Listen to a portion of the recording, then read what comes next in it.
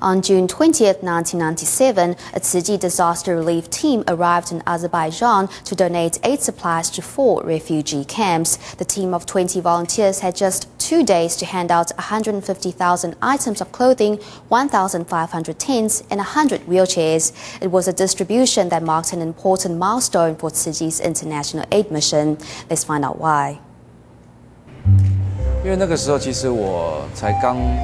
I hadn't been on the Tzu Chi media team for long. Out of the blue, the manager told me a team was going to Azerbaijan to distribute aid, and they needed a reporter, so he came to me. The brothers who went had experience of distributing aid in China and all over the world. They were brought together for that project. The aid from Taiwan included 150,000 items of clothing, 100 wheelchairs, and 1,500 tents. When Taiwan sent a container, it didn't go direct. It had to transfer through lots of ports before it got there. When the goods arrived, everything went to a military base, which was very safe and secure, so nothing went missing. When we went to collect it, going through all the red tape was very difficult. Then delivering 20 containers of clothing and 1,500 tents could have taken us over a month. So we went to the Ministry of Transportation, which had container trucks and lorries. The area we were helping was the poorest in Azerbaijan and the most remote. It took three to four hours to get there from Baku, so it was very difficult to get them to organize transportation. The roads to the disaster area were bad, and we didn't know the way, so every step we had to beg for favors.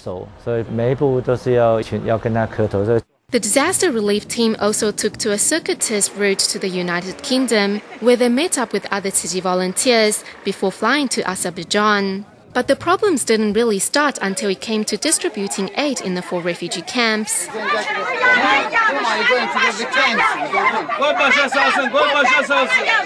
Although it was chaotic and we couldn't communicate at all, we used songs and courtesy and our professional looking uniforms to give them the impression that we were a well organized group. So although we were very nervous, we slowly got over that and smoothly carried out the distribution. 带着菩萨的心以及上人殷切的叮咛，慈济赈灾团在六月二十二号上午于 亚塞拜然的萨里营区举行发放典礼。We Tzu Chi people are practicing Buddhist groups, so this aid distribution is like a seven-day trial. We happily face up to all the challenges. Because our distribution was well organized, everyone had a handbook and tickets to collect aid, because it was blankets and clothes, so they gradually got used to it and helped us line up to collect their aid. The distributed clothes were all donated by Taiwanese people. Some were new and some second-hand, but everything was carefully packed by Chi volunteers. I opened one up and took a look inside and was amazed to see the clothes were washed very clean and folded very well. They were just like new. Apart from clothing, the Chi volunteers brought over 100 wheelchairs for people injured in the conflict.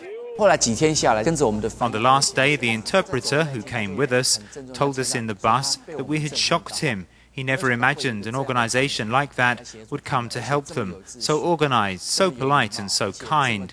So he donated his day's wages to Tzu Chi.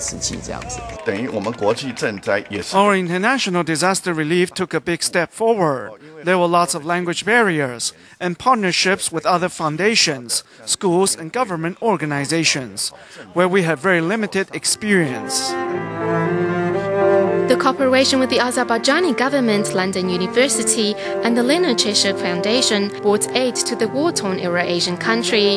A province of the Persian Empire in 328 AD, Azerbaijan has a long history and sits on top of rich oil fields, which turned the capital of Baku into an international city. But with the breakup of the Soviet Union and the territorial dispute with its neighbor Armenia, the country went into decline. Although the Chi distribution was an one-off event, like the Azerbaijan people's desire for peace and prosperity, it will not be forgotten.